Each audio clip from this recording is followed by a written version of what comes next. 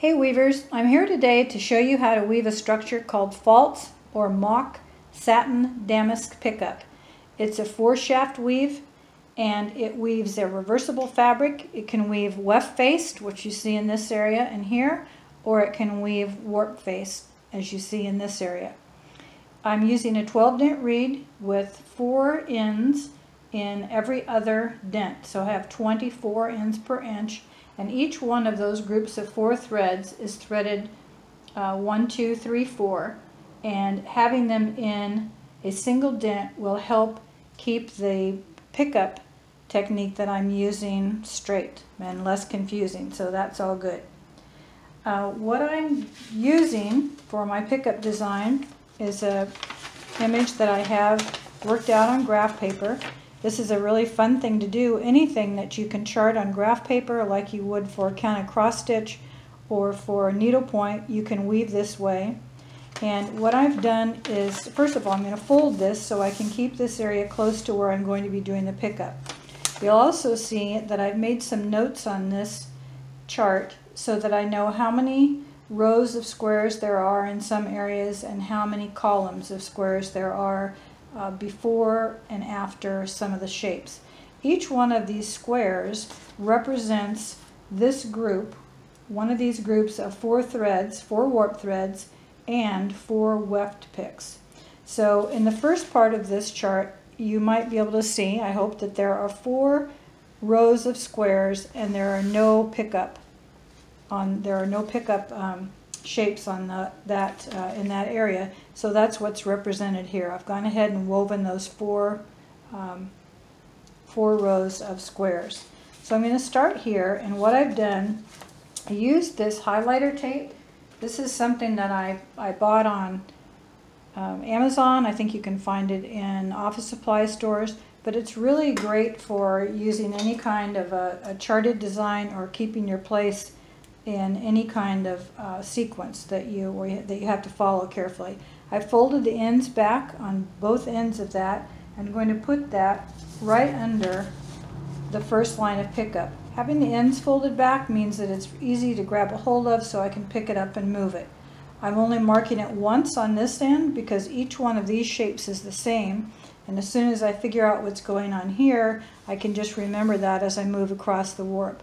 Once I get up into another more complex part of the design, I may have four or five pieces of tape across there so that I can move it and keep a, a visual line of where I am in the design. The thing that I found works best for doing the pickup itself is size 13 piano wire. I tried some other things like a traditional pickup stick and I tried knitting needles and none of those worked as well as the piano wire does. The thing about that you need to know about piano wire is that it's when you cut the end of it, it's very, very sharp. So it's important to tape the ends or do something to protect yourself from that sharp end because it will cut you and it can also cut or snag the warp. So what I did initially was wind this with or tape this with some heavy black tape, it kind of started to wear and fray a little bit as I used it. So I've taped over it again with a piece of masking tape and tried to make that as smooth and as tight as possible. Then once I wound up to the top, I cut that just above that sharp end so I know that that end is not going to go through and poke me or get hung up in the warp. So I've got two pieces. Each one of these is two and a half feet long. So it's wider than the warp, as you can see here, which makes it easy to handle because that wire is going to go all the way across the warp.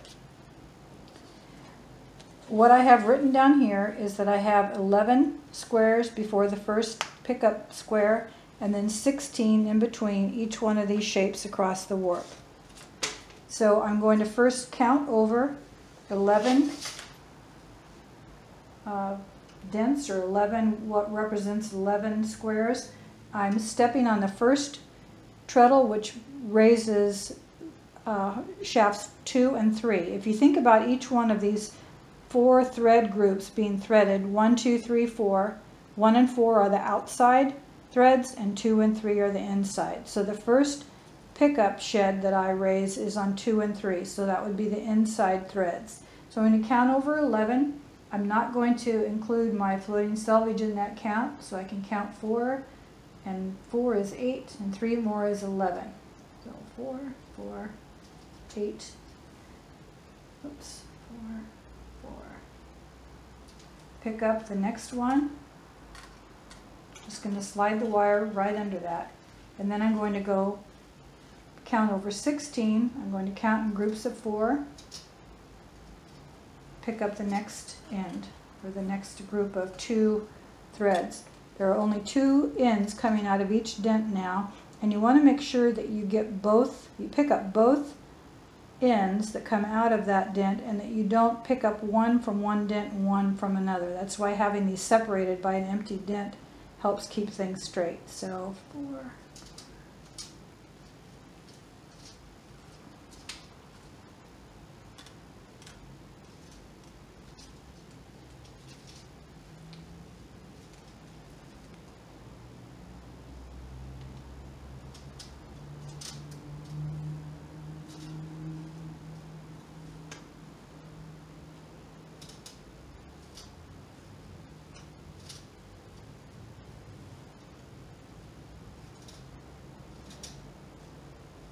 Now when I get to the other side, I want to make sure that I also have 11 remaining on this side.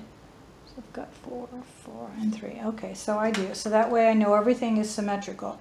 Now when I first got this wire, I it came in a coil, and I thought that was going to be a problem because it wasn't straight, but actually that's turned out to be a benefit because what I need to do next is release the shafts, and I want to step on my first before I do that, I'm sorry, I want to push this wire back against the reed before I step on my first treadle to weave the cloth. So you can see that that holds these threads above the, above the wire. If I don't push it back and I lift, I open that shed, there's nothing, there are none of the pickup stitches back here and the shuttle will just miss that. So it's important that every time before I weave a weft pick, I'm going to move that wire back against Then I can throw my shuttle.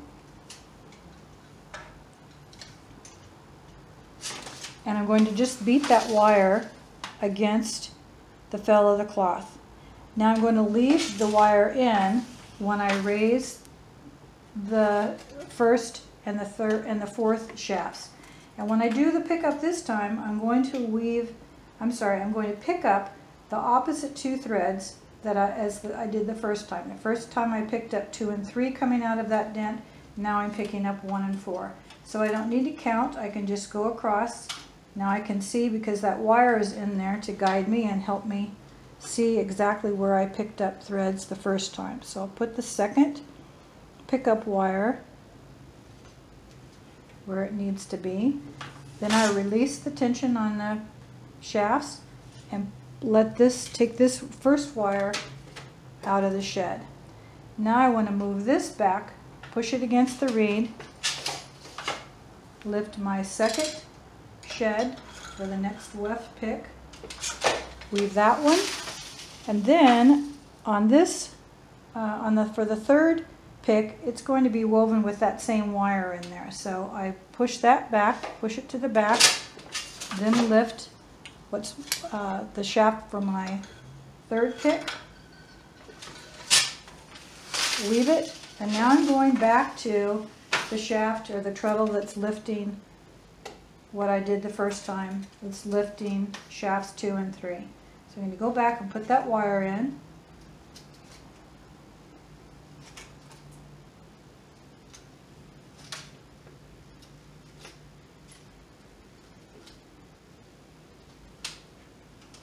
Let it relax.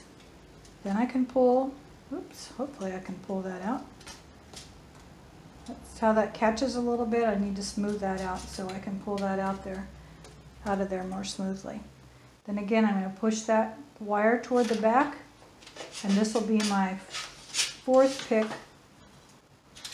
on that pickup sequence. Feed it, then I can pull this wire out. And because the wire was in there for the last four picks, it doesn't beat real tightly against the fell. So I'm going to give that a good whack three times because I found that that seems to be what it needs in order for my picks per inch or PPI to work out correctly.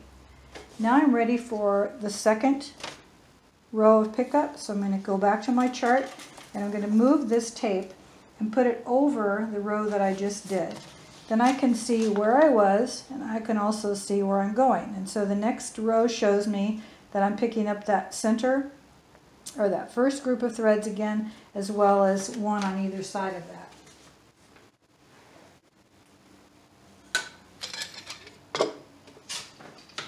Going back to what to picking up two and three, and this time I'll be picking up three groups of threads instead of one.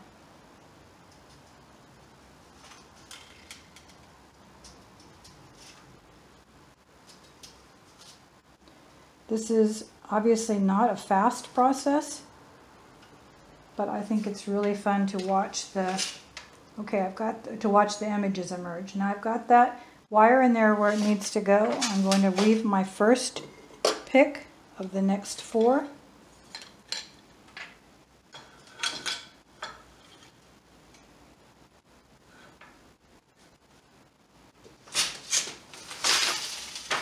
And then I'm going to put my second wire in, which I just dropped on the floor.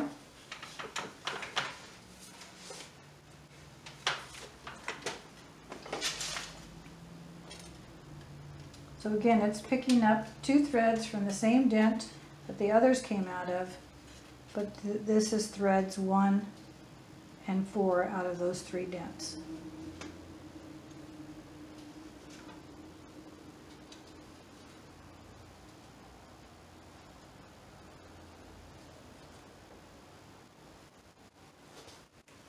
Let it relax. Take that wire out. Push it to the back.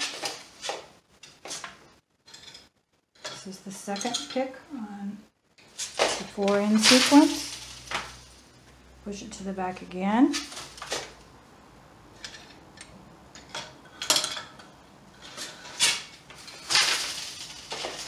And I'm going to use the first wire again.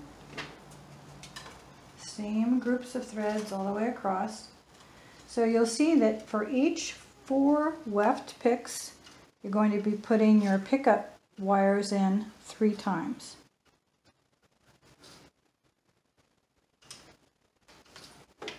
Let it relax. Pull it out.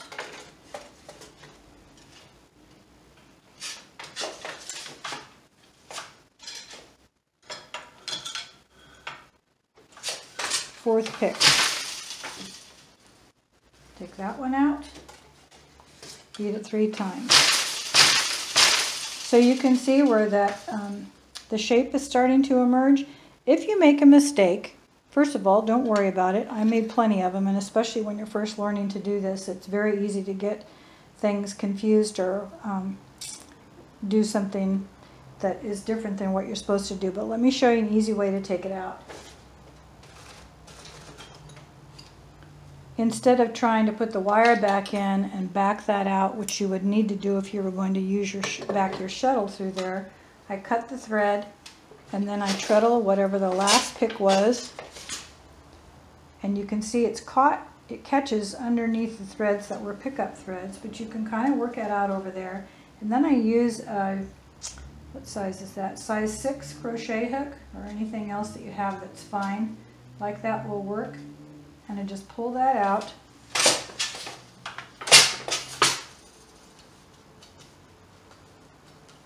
And back that up as far as, as you need to, and then you can just, you can start weaving again. Um, as I said, it's not a fast technique, but I think it's really interesting that you can weave an image on four shafts and it's fun to watch the image emerge. And if you just know that it's not fast and that you need to take your time pay very careful attention to detail, I think you'll have a lot of fun doing it. So I hope you give it a try, and I hope you'll have fun. Thanks for watching.